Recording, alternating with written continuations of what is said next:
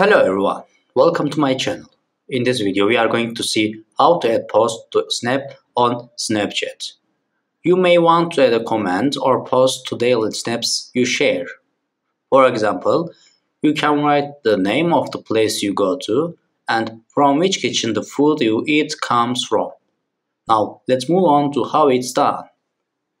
First of all, we open up Snapchat.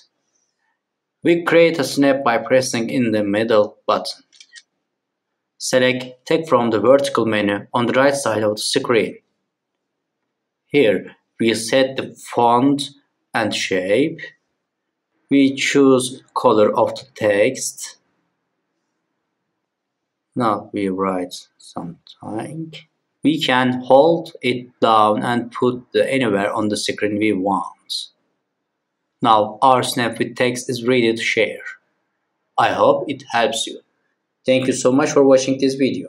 See you in the next one. Please subscribe the channel, like and share the video.